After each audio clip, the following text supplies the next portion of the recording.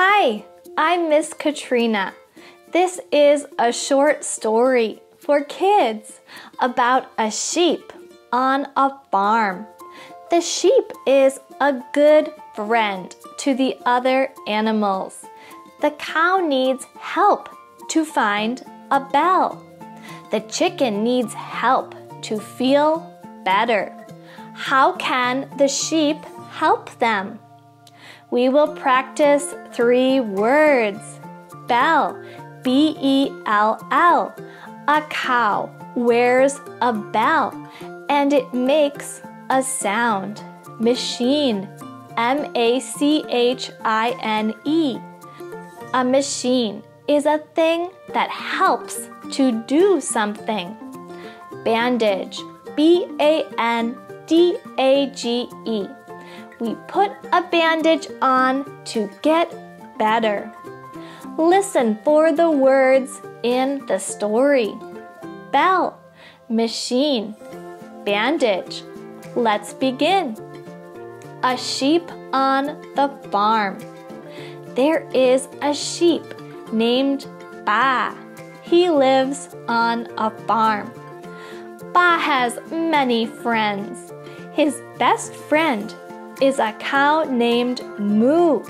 They love to eat grass in the field together and tell each other stories. One day, Moo looks sad. Baa asks Moo what is wrong. She can't find the bell. Moo is very sad because the bell is a gift from her mother. Baa wants to help Moo find her bell. He looks all around the field, but he can't find it. Then Baa says, Oh, I can use a machine to find it. Baa asks the farmer to use the machine. The farmer says, Okay. Baa and Moo go back to the field. They look for the bell. They use the machine. They turn it on. They put the machine on the dirt. They hear a beep from the machine. They dig in the dirt. There is the bell.